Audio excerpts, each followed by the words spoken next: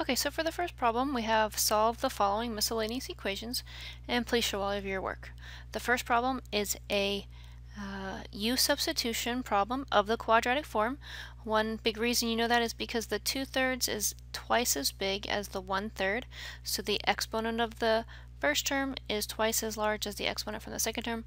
Also because there's three terms, the last one is a constant term and it equals zero. So these are all reasons why it is of the quadratic form. So we are going to let u equal x to the one-third. So the first term is x to the two-thirds. So I can rewrite that as x to the one-third squared minus 7 times x to the one-third plus 12 equals 0. And if I'm going to use my u substitution here, every time I see a u, an x to the one-third, I can replace that with u. So instead of x to the one-third squared, I have u squared minus 7 times x to the one-third, but instead of x to the one-third, I'm going to put in a u plus 12 equals 0. Alright, so now that I have it in u's, this is a quadratic equation, and it's actually pretty simple to solve using um, factoring. So I'm going to factor it into u minus 3 and u plus u minus 4. I set each of those equal to 0 and solve and I get u equals 3 and u equals 4 which is great is a great answer for u but I was no one no one asked me to solve for u I was told to solve for x so I need to translate all the u's back into x's. So I'm going to translate the u into x to the one-third. And each of those x to the one-thirds equals their um, solutions from u equals 3 and equals 4. And now I'd like to solve these. To solve a rational exponent problem, you just raise it to the reciprocal. The reciprocal of one-third is 3 over 1, or really just 3. So therefore I have x is equal to 3 to the third, which is 3 times 3 times 3, or 27. And then I have x equals uh, 4 to the third, which means 4 times 4 times 4, which is 64. So these are my two potential answers. I say potential because I need to check them. So I'm going to check x is equal to 27 first. So I have 27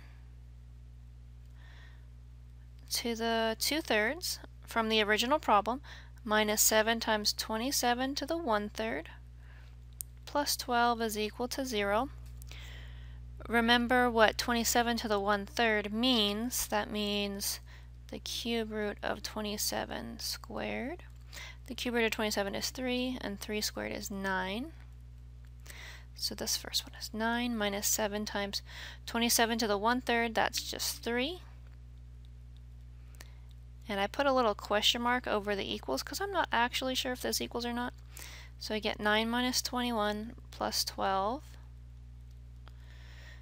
Uh, that gets me negative 12 plus 12 is 0, and 0 does equal 0, so I know that 27 works. So now I'm going to go ahead and check x is equal to 64. Okay? So when I check x is equal to 64, that gets me 64 to the 2 thirds minus 7 times 64 to the 1 third plus 12 is supposedly equal to 0. Now remember what 64 to the 2 thirds means. It means the cube root of 64 still squared.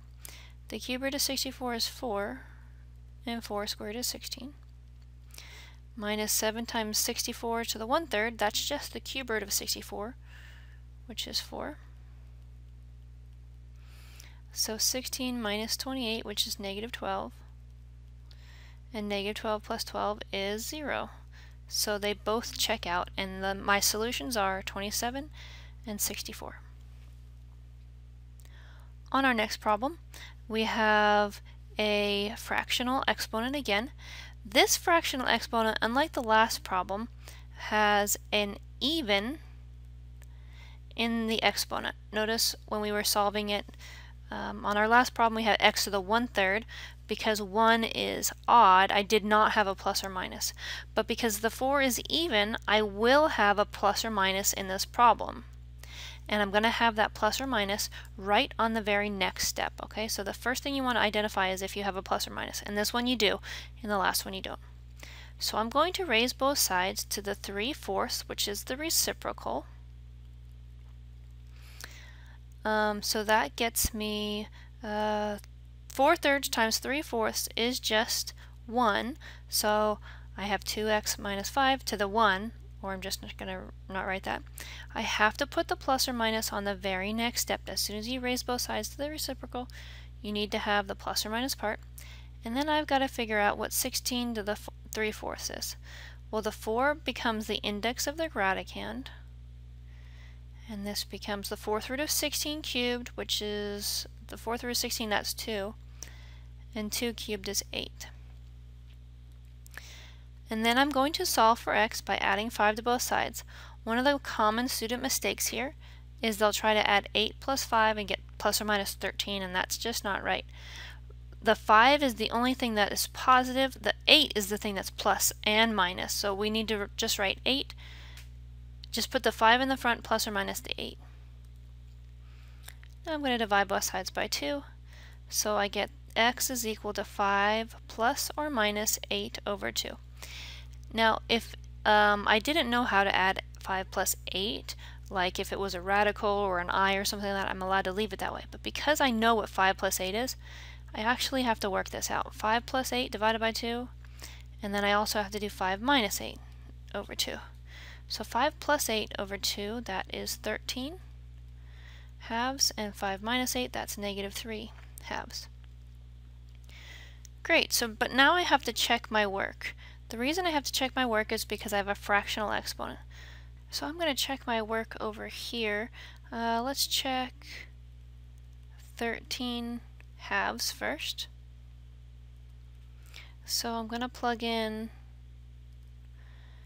uh, 13 halves every time I see a x, so I have 2 times 13 halves minus 5, all raised to the 4 thirds, is supposedly equal to 16.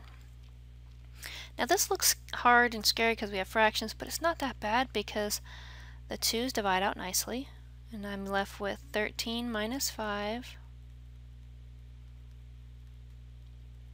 Uh, 13 minus 5 is 8 and 8 to the 4 thirds is supposedly equal to 16. So let's check that. So I'm going to take the 3 and make it an index of the radicand. The cube root of 8 is 2, and 2 to the 4 truly is 16. So 13 halves works. I'm kind of running out of space here, so I'm going to leave the other check to you. But negative 3 halves also does work, and both of those are the solution um, to that problem. For our next problem, we have to evaluate each of the following given the piecewise function g of x equals negative x plus 4 if x is less than 0 or x cubed plus minus 2x plus 1 if x is greater than or equal to 0 be sure to only plug this into one of the two parts. If your value of x is less than 0, then you're only going to plug it into the first one, not the second one. If your value for x is greater than or equal to 0, again, you're only going to plug it into the second, not the first. If you put them into both and hope that I just find the right answer, I'm going to be marking off points because you put it into both because you didn't know what you were doing. So in this case, because 3 is less, negative 3 is less than 0, when I try to find g of negative 3, I am only plugging it into negative 7x plus 4. I replace the x with negative 3, so that gets me negative 7 times negative 3, which is positive 21, plus 4, which is equal to 25. So therefore, g of negative 3 is equal to positive 25. Now some people usually ask me, do I have to write g of negative 3 or can I just write 25? Are you going to take off points for that? I'm not going to take off points, but this is the most appropriate way of writing your answer. On the next one, 0. Uh, is 0 less than 0? No. So I can't plug it into the first one. Is 0 greater than or equal to 0? Yes, it is equal to 0. So when I'm finding g of 0, I'm only plugging it in to the second equation, x cubed minus 2x plus 1, which gets me 0 cubed minus 2 times 0 plus 1. So we have 0 minus 0 plus 1.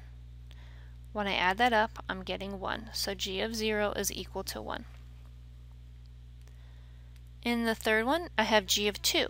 So because 2 is greater than or equal to 2, then I'm only going to plug it into the second equation. So g of 2 is equal to 2 cubed minus 2 times x, which is 2, plus 1. So 8 minus 4 plus 1. Following my PEMDAS, I add left to right and get 5.